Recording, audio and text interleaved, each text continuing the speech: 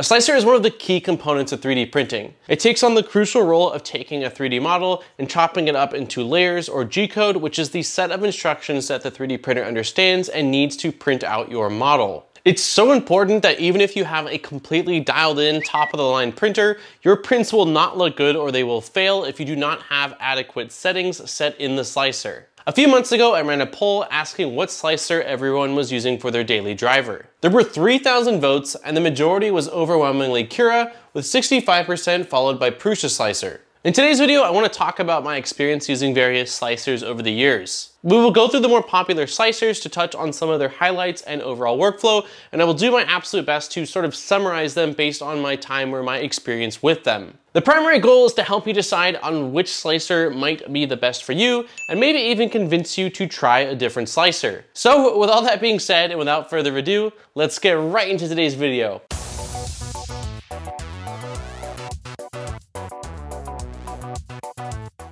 I bought my first 3D printer in 2014, which was the DaVinci 1.0 by XYZ Printing. Prior to that, I had never been exposed or had any experience with using either a 3D printer or any form of slicing software. The DaVinci 1.0 was a lockdown machine and required the use of XYZware, which was the slicer for it. Since I hadn't used any other slicers, I did not realize just how buggy, slow, and really limited in features it was until much later on. The DaVinci 1.0 lasted for a couple of initial prints and then had a pretty serious hardware failure. After many months of having a paperweight in my room, I ended up gutting the original controller and swapping it out for a Ramps and Arduino board running Repetier firmware. And because of my sort of limited experience into 3D printing at that point, I assumed that because it had a Repetier firmware on the board that I also had to use Repetier Slicer. So that is what I learned and what I used for probably the next two or three years. Coming from XYZware, Repetier or Repetier had a bunch of different options, additional options, as well as it gave me much more control of my 3D printer. And when slicing, you had the option to use either Cura engine or the Slicer, which is spelled like Slick 3R engine. And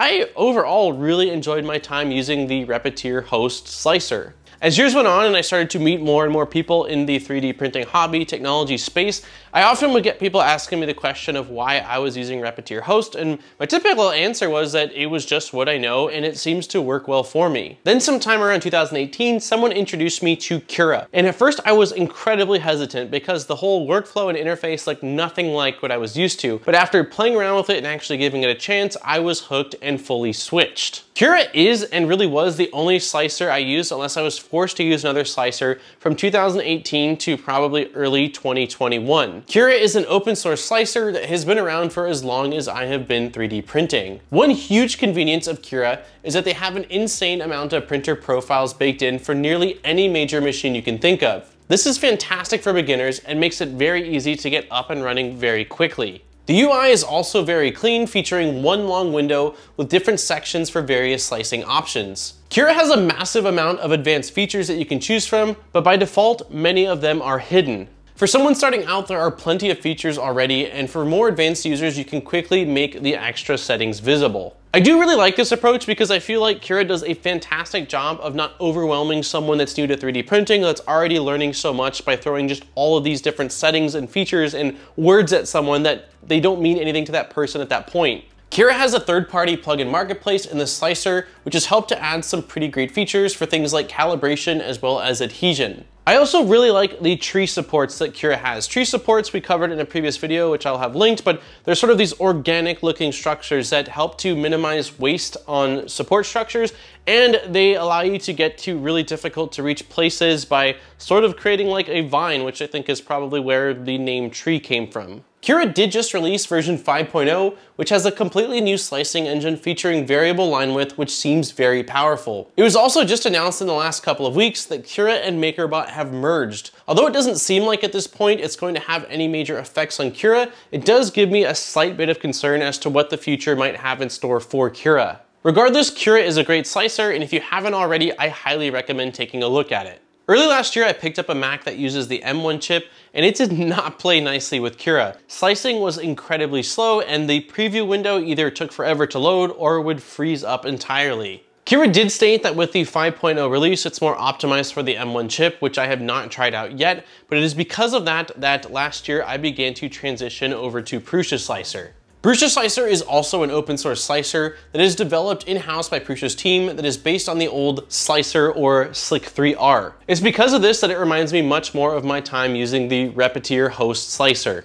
Prusa Slicer is very different than Cura, which some may love while others may find overwhelming. Instead of having a long list of slicer parameters, there are pages or tabs on the top and side, which is how you navigate through the various settings. There is a simple advanced and expert mode which will hide certain features, but it does not give you the same level of exact control that Cura does as far as hiding features. Speed-wise, the slicer has been an absolute treat. It works fantastic with the M1 and the slicing side of things as well as the preview have been very, very snappy. There are a ton of great features, and Prusa's team is constantly updating it with features that I absolutely love. Some of my favorites are paint on supports, snug supports, multi-material painting, and the really powerful per object settings. They have been adding third-party machine profiles into the slicer, which is great to see, but Cura has been doing this for much longer, so the library is not nearly as large. Just like Cura, Prusa Slicer has a massive community, and it's absolutely worth checking out. Next up, we have Super Slicer, which I had not really heard of until last year when I dove into the wonderful world of Voron.